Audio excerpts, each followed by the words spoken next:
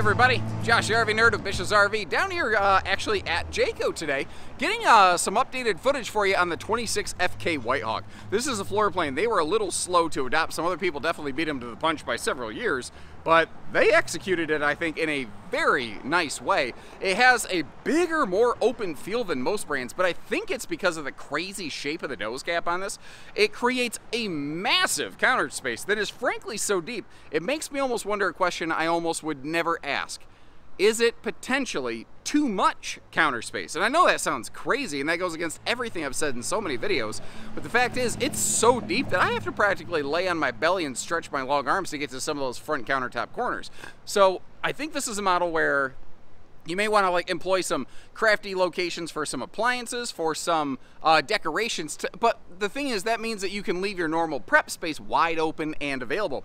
This is uh, carpetless, so it's easy cleaning uh, all through the slide. True queen bed slide in the back, but instead of a rear wall closet, which adds a lot of extra length, weight, and cost to the RV, it's just a big closet and wardrobe and dresser drawer storage straight across from the bed. Very, very Rockwood style. And without question, this is very inspired by a Rockwood floor plan that I've I've recorded multiple, multiple times if you'd like to compare. But, you know, Rockwood does one of these, Freedom Express, Whitehawk does one of these, and they all do it a little bit differently, and they all do some other things really cool. Like Whitehawks have Goodyear radials and wide stance stability axles and tire pressure monitoring. Um, they're 0 to 100 degree rated, and very few builders of this layout can boast something like that. Now, to be fair, the RV does have two-stage travel access where you're going to have to use both doors to get to everything. It does have a fairly hefty hitch weight, so probably you're going to want to be three-quarter ton pickup. Um, it's got a couple things like that, some good, some bad. I'm going to show you good and bad, try to give you a fair estimation of this thing to decide if it's the right one for you. And if you appreciate that, like our video if you're a return member of the RV Nerd Herd, or just leave me a note to say thanks nerd, or whatever. So starting off here, let's say you just woke up in the morning. You come out of your rear queen bedroom. This is kind of what you're looking at right here. Now, obviously, you're probably not watching TV from this angle, but you're not really intended to. One thing I do want to kind of point out, you can see the I, I don't I don't know bracketry, I, whatever the bracket for the TV right there. Um, it's not a swing arm. It's actually just a, a, a quick release on-off kind of TV. I don't know that this plan needs a swing arm, but it was just a little bit of a surprise. Now, all of our windows have blackout roller shades, which is something that on a hot day like this can be real awful nice. And for 24, they have tweaked around and um, updated the, uh, the, the dining table over here. And it's interesting because it's now free floating. It folds down, you can store it under the bed, so it takes up almost no space. And there's like a big steel plate on the bottom of that table that it attaches to. Uh, so, you know, it's heavy, it's sturdy, uh, but th that's kind of thing. When you're folding it up down into a sleeper, like if you have a little guest or something like that, it's a bit to manipulate. So depending on, you know, how good you are maneuvering stuff depending on your age. Like my grandmother, I don't think my grandmother would be able to handle that thing, but it's not necessarily a problem, I think, for most people. Entry door over there is a nice 30 inch wide door, where that's really cool is if you're outside grilling or cooking on the campfire or something like that, it is really, really nice to sort of have, uh, you know, that extra coverage. Now, we're actually out here at the visitor center today. You see the fellow with the old fishing hat. I do think we may hear that door open in about three seconds, and we might have a surprise guest. We'll see how everything turns out. Uh, this is kind of, you know, their time. I can always wait a little bit. I might have to pause the video and let them sort of do their thing a little bit. Now up here, the uh, and in case you're hearing the banging around, that's somebody checking the uh, slam latch baggage doors outside. Um, the, the counter space. This is what I was saying. Is there such a thing as too much counter space? And what I mean by that is this thing is deep. This is deep, deep counter space right here. And uh, if you notice, like if I use the sink cover as a bit of a reference point right here, I shove that all the way up in the corner, you see how big these actually are. Um, you know, without something like I, I don't walk around with a basketball in my back pocket to kind of give you a reference point. So I want to use things that you can find around the camper. That counter space is probably at least three foot deep. Now, with my long arms, I don't have a problem reaching that. But again, my smaller grandmother, my wife, they are a little bit more gravity friendly. It would be a bit of a challenge for them, so it's a thing to maybe consider on this one. But it also means you can use that upper shelf that goes above the pass-through as like a decoration station, an appliance shelf, or whatever you want it to be, so that everything else on either side of the sink or stove is just all functional prep space. So you might be able to turn what I call chicken poop into chicken soup, um, which is a closely guarded family recipe, mind you.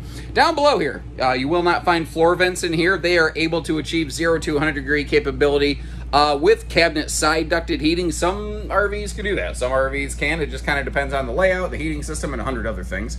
This is that uh, refrigerator door that can open either direction, and that black slot next to it, the RV actually includes its own handy little picnic table, which I think is kind of cool. Now up top here, you can see how we do have a big XL vent fan. A lot of times people prefer to see those in the bathrooms. I, I don't blame you. It's not a bad thing to find in a bathroom. But what this does have uh, is the smaller fan in the bathroom. They put the biggest fan in the biggest room to give you the most airflow where you need it. And with the frameless windows, that fan is something that might really, really help uh, with the airflow issue. Now, they, uh, it, it's tricky to try to put outlets in this one, so I really appreciate the pop-up power towers with the household and USB plugs in that, and little comfort, ease of use function detail factors. The, uh, the double light switches over there on the slide sides, you can actually turn the lights in the slide above you on and off without having to get up, which I think is kind of cool. And uh, White Hawk was one of those first Jaycos that adopted the carpetless slide system. And whenever you make the main floor and the slide floor match, it looks good. Now, they've been doing a little bit longer than some manufacturers. Some manufacturers really have trouble keeping that corner not uh, looking like a, a, strip of bacon. You know what I mean? Um, obviously has cracked the code on that. I've been told uh, you have to use a little bit better grade of flooring to accomplish it. Then again, that could be Jayco just trying to puff themselves up. I don't know. I'm not saying I would be above it. I'm just saying. Uh, the little swivel stands that you get with either the hide-a-bed that's available as an option or the theater seat that we're looking at right here can be really handy. You could outfit this with a freestanding table instead of the booth dinette as well. So I'm kind of curious. What combination of booth dinette and um, sofa would you, or well, not booth dinette, but what variety of dining and sofa would you prefer? Now, I want to key you off into something on that front kitchen while we're totally not looking at the front kitchen. The overhead cabinet space, it's really cool that it's there, but they went with good, deep or, uh, cabinet space, which means it's a bit of a head knocker and I got two bonks on my forehead today to prove it. So you're going to want to kind of keep that in mind if you're bigger like me. Looking at all the storage here, right by the entry door. I'm going to call the bottom drawer like, you know, socks and gloves and hats and things like that. But um, that's adjustable shelving. You could convert that into more of a closet space. And again, you, the RV includes that floating table. I don't think you need to use it as counter space in this one. I guess theoretically you could, but small space like this, it would probably just mostly get in the way. Um, White Hawk does use a little bit smaller oven than like a Rockwood or a Cougar. Um, similar size oven to something like Freedom Express. So if oven cooking is important to you, uh, that might be worth considering. But also keep in mind the fact that a lot of manufacturers are actually phasing out ovens and they're just doing something like a convection air fryer. And I'm curious, do you think it's good the White Hawk included an oven, albeit a small one, or would you rather they adopt the convection air fryer wave that seems to be kind of floating through the RV industry right now. And if you remember these last year, the decor had a lot of multiple different wood tones all kind of smashed together in one another. And there's still a couple little accents here and there. But overall, they combined their two previous decors into one decor. Instead of vintage or farmhouse, you now have vintage farmhouse. That's a real thing, by the way. And um, overall, I like it. I think they did a. I think they did a pretty good job. Now, uh, back here, by the way, that is a smart TV. I've got the handy little Roku remote uh, sitting down there for you. You've got yourself a little thermistor. That is a temperature sensor, in case you were kind of curious.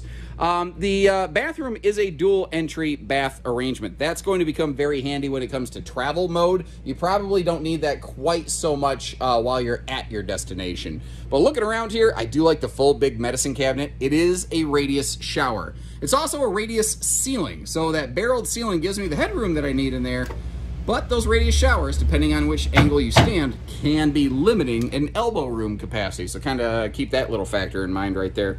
Now, down below here, you have a porcelain foot flush stool that, um, you know, you can't watch TV from it, but you can still engage in a turn your uh, neck left uh, staring contest with the person on the sofa if you feel like it. And you may have noticed me reaching into a cabinet above. There is a handy little cabinet right up here that uh, you know just every a little space for towels something you know a little space like that goes a long way better than nothing and in case you're curious uh, i mentioned it earlier but again it is the small vent fan here in the bathroom you can outfit these uh, as 50 amp. You can build them with second air. That's where the second air would be located. This one obviously does not have that done. And something else that a lot of people wanted. A lot of people are saying, you know, it's like the bedroom's one color, the bathroom's one color, the living room and kitchen are like all kinds of different colors. Can we just get one decor for the RV, please? And that's what they've adopted here. So hope you like what you see. It was based on your input. That is a true queen bed, by the way. And inside the slide box on both sides, you see these handy little side stands with household and USB plugs on both sides. Now, a lot of manufacturers are finally starting to adopt some USB Type-C plugs, which is great if you've got like um, a wireless charge pad or like a new phone that just needs more juice or something like that, you know. Looking down here under the bed, you can see it is easy lift. There's plenty of storage there. And then looking across from the bed, that's where you actually have the, essentially the majority of your closet space. So the hanging closet towers that you'd find in a north-south bedroom, you have them here. They're just directly across from the bed. And then down below it, you just have tons of dresser space. So you're actually gaining storage as a result. And what's really crafty and cool about this bedroom, Rockwood was really the one that kind of cracked the code on it. It allows you to have an east-west bed slide without actually extending the RV. It's super, super slick. The travel access on this is not bad. It, you can get to some good kitchen stuff, the bedroom and the bathroom, but it is two-stage. So we're up here in the, the front living room area. I've got the slide closed right behind me currently. And, you know, if you kind of peek over my shoulder here, you see that if I need to, I can wander up to the refrigerator. I can get up here uh, to the sink space. So that is really handy if you want to stop and have a snack. But if you want to do anything else, we're going to have to go through door number two. Kind of pun intended. By the way, if you're listening, that's the sound of this air conditioner on full bore. I think my voice is probably booming over top of it. Is it the whisper ducted system of their fifth wheels? No. Is it terrible? I don't think so. But again, for bedroom and bathroom access, you are going to have to use the second entry door. Keep in mind, a little bit of that mattress does overhang. That's part of the reason that closet sticks out a little more. Not to mention, it gives you room for like coat hangers. But the back door can get you to the bed. It can get you to the bathroom. If you need to stop and wash the travel off of you, you can do that. Or if you just need to stop and have yourself a little uh, unscheduled potty break, you have the capacity. Something I touched on when the video first began, towing recommendation. Um, you look at the empty weight on this and you think, oh man, half ton could probably handle that. It's got the wide stance axles. That's supposed to help, right? Yeah, that's true. But having a full living room super slide in front of the axles like that, uh, it creates a pretty hefty hitch weight. So as a result, my generalized towing recommendation is going to be a three quarter ton pickup. Now, if you've got a very hefty payload on your half ton, you're not going super far through mountains or something like that. Maybe, yeah, you know, for some local towing. They're still doing 30 pound tanks, which is almost becoming a rarity. Um, I think 20s are okay but they are giving you greater propane capacity, which is nice because this is cold camp rated, and if you're cold camping, you are going to murder your propane uh, reserve. So having a little extra time between swaps, uh, which can allow you to sort of, you know, shop the propane prices from day to day, certainly doesn't hurt. And this is kind of cool. Most front kitchens like this don't have a full pass-through. Coachmen's generally pretty good about it, uh, but White Hawk obviously caught on to that note. And uh, you can see your, your battery disconnect switch down there. I really wish they would raise that up a little bit, just so that it wouldn't be quite as susceptible to shifting cargo in transit. Tankless on-demand water heater and furnace, but both over here on the, well, that sounded like I said tankless on-demand furnace. That's that's not what it is. It's an on-demand water heater. The water heater and the furnace are both over here in the campsite of the RV. Not my favorite, but considering the other side of the RV is like pure slides, they didn't have a choice. The reason I don't always like it over here is because it can put a hot air exhaust on the campsite of the RV. I don't get too uh, annoyed about it though on an RV like this. Uh, that's more of a uh, couples model than a family model. Less likelihood of kids running around. There's that little black FBI listening device dot right there above the stovetop exhaust vent hood. That is actually an exterior thermistor. The RV uh, can tell you exterior ambient temperature separate from just your interior temperatures, which is kind of a cool thing that they do right here. Now we've got some Goodyear tires with wide stance stability axles, and that helps uh, the RV tow like it feels a little bit shorter than it actually is. And you might notice uh, they, uh, if you got up close and personal on them anyway, those have blue valve stem caps with the little low pressure indicator on them. That actually has TPMS integrated into the tire, not like a valve stem cap variety that could potentially pop off. And somebody left a, a, comment the other day, and, and I respect it. I, I they, they could have gone about it in a better way. That they're like, obviously you don't know what you're talking about. Do you want to go have your tires serviced regularly to, to check the, the TPMS banding? I, I mean, if I'm going to be towing a lot where TPMS is important to me, I'm probably going to have my axles and bearings checked anyway. So I don't, personally, I don't think it really bothers me. Now, uh, you can option the rear bumper griddle uh, on the, that you see like the bracket for right there, and you see the gas grill quick connect. That will always be on the back. And as we know, nerdism number 37, when the gas comes out the backside, well, that's a propanus right there. Whereas uh, if it comes off the side side, that's that's a cooker hooker. There's backside and side side. Those are very, very critical differentiators. 250 pound rated uh, roof ladder to get you up top to that plywood decked Magnum Truss roof system. All those words do mean something. Jayco's Roofing is rated to hold more weight per square foot than anybody else in this class, at least of which I am aware personally. We do have uh, reverse travel lighting, but a lot of these travel trailers, White Hawk included, no longer have standard default J-Smart lighting. Um, some of the floor plans were generally uh, shorter and didn't necessarily need it. This one's kind of borderline. I, I, wouldn't have been offended by it, but they had to kind of make a, a call clear across the entire family, and this one didn't make the cut. The underbelly, enclosed, forced air heated, protected, insulated, and if you notice, one of the things they did here that is just absolutely awesome, it is a single sewer outlet. And I think that is very, very cool. But I am actually looking up in front of that slide and I do see a couple pull handles right there. I'm not sure if those are dump gate valves or if those are like a, a, a, freshwater tank drain for the end of the season.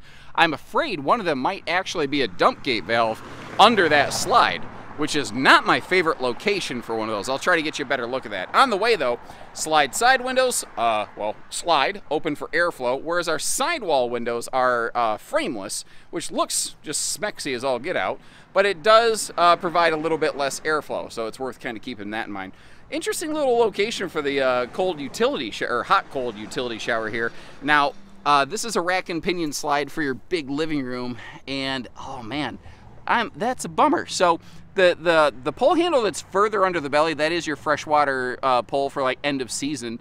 But that is your kitchen gray tank right there. If you got long arms like mine you could squat down like i'm doing. You could probably still pull that. But if you're not quite as spry that might be a little bit of a problem for you. And that's a bit of a bummer to report, but I hope you appreciate that kind of like the road mode, opening up all the storage and everything. I will go out of my way to show you what you are or maybe are not getting for that hard-earned money that you're putting into this thing because you work hard for that money. So hard for it, honey. So I'd be kind of curious to know what you think about this one and how you think it compares to some of the other builders of a layout like this. And to help you with that, I'll leave you a link in the video description, both to check for pricing and availability on this model, but also um, like the Rockwood, the Freedom Express, the other versions of something like this, Heritage Glen and Hemisphere, also do a pretty good one. It's a little bit longer, but it actually does have washer dryer uh, prep in the uh, in the rear bedroom on a rear wall closet that this one doesn't have. So they all do a couple cool things. I'd love to know which one you'd prefer to go with and why. And until next time, I'm tired. Holy cow. Take care, stay safe, have fun, and stay hydrated, everyone. Woo!